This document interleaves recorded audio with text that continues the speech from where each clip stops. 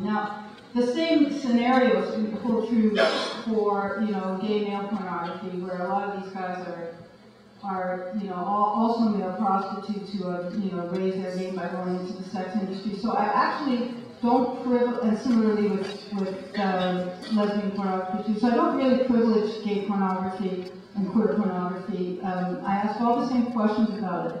The only way that I think that I, I you know, I have a, a slightly, you know, I mean, I think it needs to be mentioned that a lot of uh, queer people like their pornography because they don't see any representations of themselves anywhere as sexual beings in any other way in the culture, Ellen DeGeneres and, you know, George Michael notwithstanding, you know. I mean, we can all name the five out women in the world. Five out famous women in the world. It's not very many. So, in a way, I'm kind of sympathetic to um, gays and lesbians who feel like pornography is important to them because they see themselves reflected in it and don't see themselves reflected anywhere else in the culture as much as, you know, certainly as straight pornography. But all of the issues of exploitation, I still ask the same question. Who are the people who are in it? How did they get there? What's their relationships to the producer? What's their relationship to the means of production? And, you know, the scenarios too are, um, you know, there's, there's still a lot of the same kinds of scenarios in terms of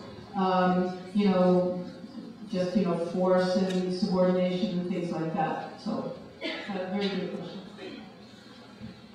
Ron, do you want to respond? Or, okay. Uh, sir, you have a question left? Yes. Yeah, right in front. Yes. He gets a big shot. Oh,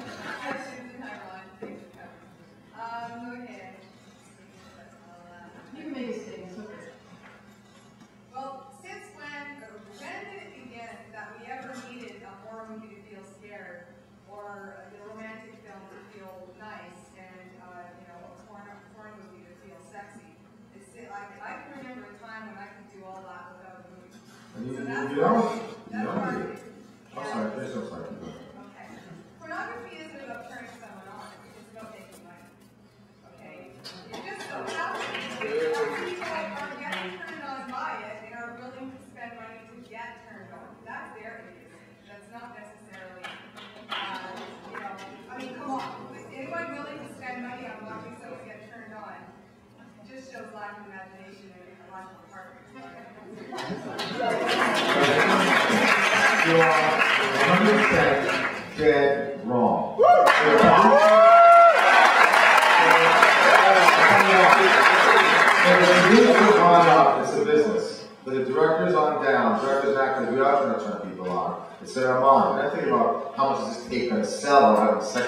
bed. Oh, this thing makes a lot of money. Come on, about turning on noise. You do sexy things to the camera, try to create a lot of images for the camera. I'm not thinking about the money, but we know that it's a business. What film is it? And as far as you need this stuff, no. I totally agree with you. I don't say you need horror films to be scared. You don't need adult films to get turned on. I'm saying it's recreational. If you choose to do it, that's perfectly fine. I showed out hands before, like to do that. Now, just pay attention to my answer. You're just looking away. You asked the question. Okay. But I agree with you. I, I agree with you. We don't need this stuff. Listen, if you don't want to go to the movies, if you have horror films, it's like science fiction films, I respect you for that. It's perfectly fine.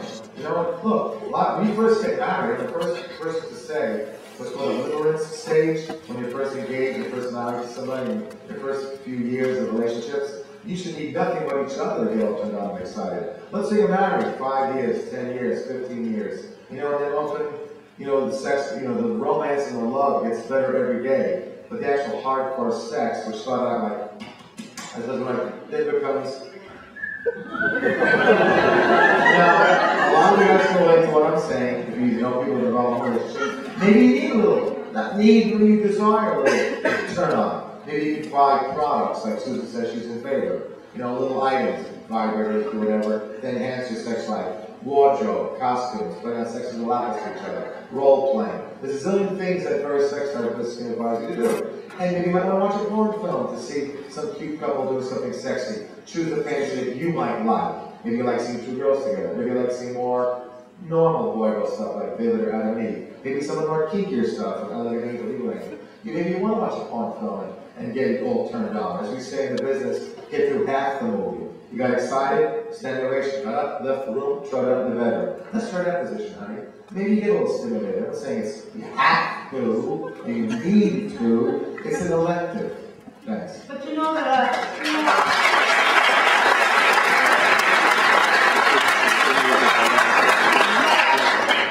I mean, I take the question as point to the extent that, so how, how many times, like I mentioned before, I'm asked, well, what, well, what kind of stuff would you like? As if I have to, have. Or not find offensive. No, no, I'm not saying, that's what you were asking, I'm saying people ask me, like, well, what, what, what would you like? And I, and as I said, like, I find it quite stunning that we're living in a culture where we have to have an answer to that question. And I also take seriously the questioner's, you know, worries about, ima- about the sexual imagination and emotional vocabulary and all the things that go with it. And how, you know, we're having to be, you know, served up all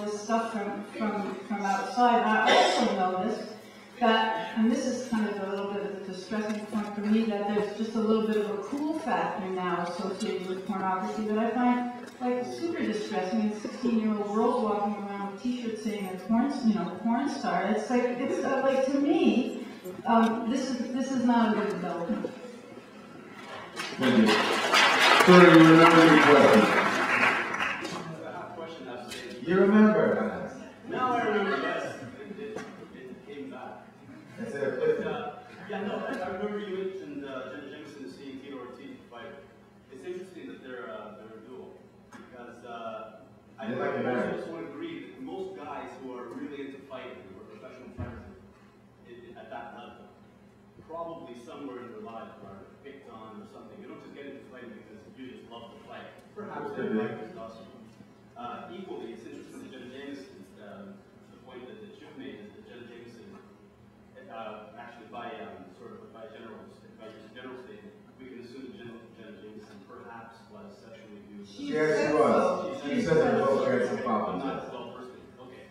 So, just as Tito Ortiz is exploiting his own past, perhaps, by becoming a professional fighter, empowering himself, and making a statement to himself and to the world that he is no longer that victim, why can we not see Jenna Jameson and the other court, court stars from the same perspective, in the sense that, what is wrong? Because he's not sticky spreading his legs or he's get bending down and saying, give Well, you wanna see that. what grabbing you by the grappling or I just see it grabbing on the floor. You guys pull this close to the guy's face. It's very telling because I see it rather than a woman being penetrated, I see it as a woman swallowing up a man. Yeah. Which is more of an act. And I think that's really interesting, because if that was a guy, you know, I think, you know, I like that, I like what you're saying, because if that were in fact the dynamic of our culture, that in fact dynamic sexuality, sexual intercourse, women swallowing or engorging